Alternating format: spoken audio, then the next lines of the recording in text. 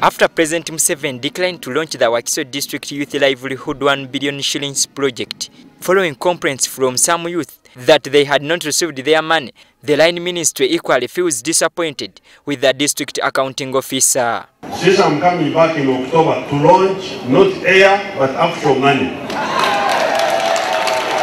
This prompted the president to question the whereabouts of 1 billion shillings, which the permanent secretary in the gender ministry, Pius Bigirimana, is tasking the Wakiso district chief administrative officer to account for. But where is the money now?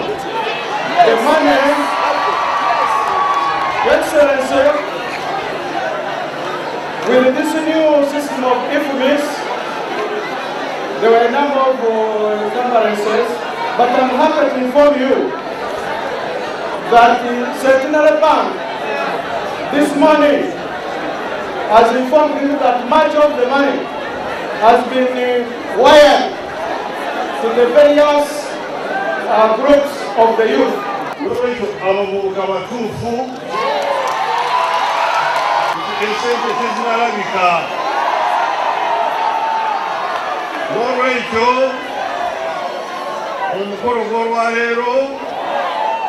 Tugenda But the Wakiso district youth chairperson Joseph Sewava blames Centenary Bank for the delay in remitting the money, an accusation challenged by his finance secretary. Mm. She has been hiding mutumufunye katikati abadde She- banks are collaborating with some people here to steal money and many a lot of money is being sente zibuzibwa buzibwa bano bavubuka batuufu bali innocent let the office of the IGC that is already facilitated by the Ministry of Gender to investigate why this money is hoarded.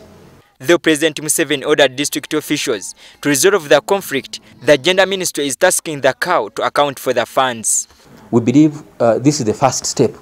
Should the explanation lack facts, lack guidance, definitely the office of the IGG should come in and sort this matter before we take it in our own hands.